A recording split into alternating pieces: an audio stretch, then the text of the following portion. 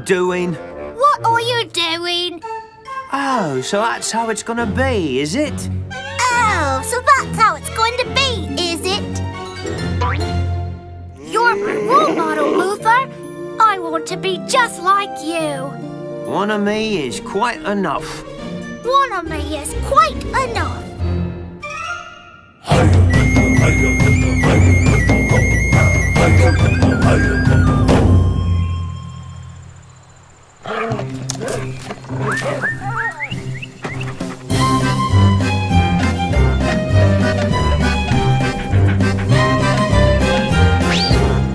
Theo, tell him to stop copying Theo, me. tell him to stop copying me. He's driving me round He's the bend. He's driving me round the bend. We all have people we look up to, don't we? Someone we admire or want to be like. Maybe it's our parents. Maybe it's a teacher. You want to act like them, perhaps even look like them. To be like someone, we have to spend time with that person. As Christians, we want to be like Jesus, don't we? Jesus said that in order to be like him, we must abide in him. What do you think it means to abide? Some people think it means to abide by a set of rules or to abide by the law. Others think it means to bide one's time. Still others think it means to not tolerate someone. Like, I can't abide that person. Your thing. While these examples of abiding may be true, they are not what Jesus meant. When he said that we must abide in him, he talked about the relationship between a vine and its branches, just like these. In order for a branch to bear fruit, it must abide in the vine. The branch receives all of its nutrients from the vine, which makes it able to grow and bear fruit. Without the vine, the branch can do nothing. Jesus said that he is the vine and that Christians are the branches. The Holy Spirit who lives inside believers provides the spiritual nutrients to help us grow and bear fruit. Let's take a brief look at the life of the Apostle Paul, who truly understood what it meant to abide in Christ, even though he suffered greatly for his faith. The life of the Apostle Paul is a wonderful illustration of someone who truly understood what it meant to abide in Christ.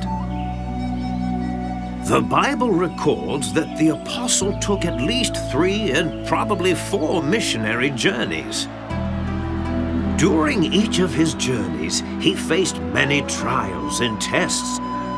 But that did not deter the apostle from fulfilling his upward call in Christ.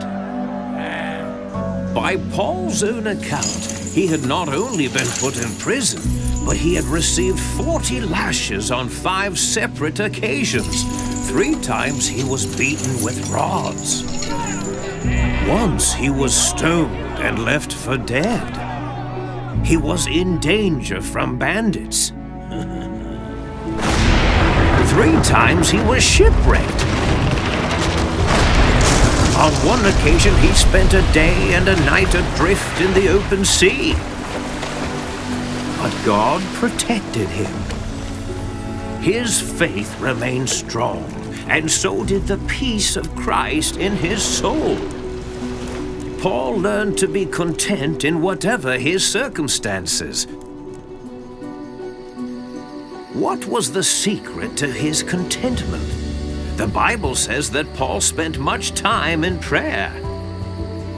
Paul knew what it meant to be still before God, to abide in his presence alone. It was in prayer that Paul gained God's perspective on life and circumstances. In prayer, he realized that God was in control of all things, great and small all the ups and downs of life, the times of rejoicing and the times of suffering. To pray is to abide in Christ. Jesus said, Where two or more are gathered in my name, there I will be in the midst. Paul knew that believers are members of the body of Christ, each having spiritual gifts to help build up one another. To fellowship with Christians is to abide in Christ. Paul's understanding of God was rooted in Scripture. He knew what the Scriptures said about God and about His Son, Jesus Christ, and about the gift of the Holy Spirit who indwells believers. Paul abided in the Word of God daily, for as the Bible says, Jesus is the Word of God.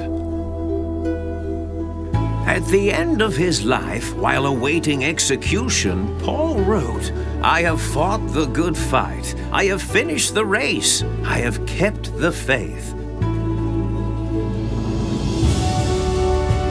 I know whom I have believed, and am persuaded that he is able to keep what I have entrusted to him until that glorious day.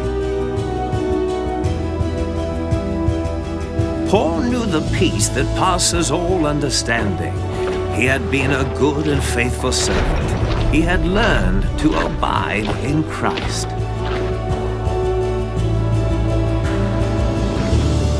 What was the secret to the Apostle Paul's great peace in the midst of trials? There isn't any secret. He knew how to abide in Christ.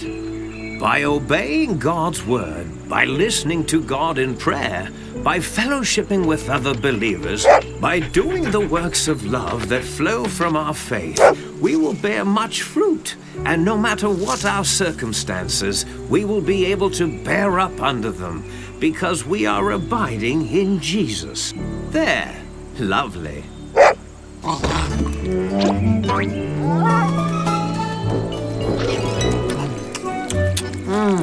Theo has the best grapes. Mmm, Theo has the best grapes. Uh, um, Belfry has fleas. Oh, uh, Luther has fleas.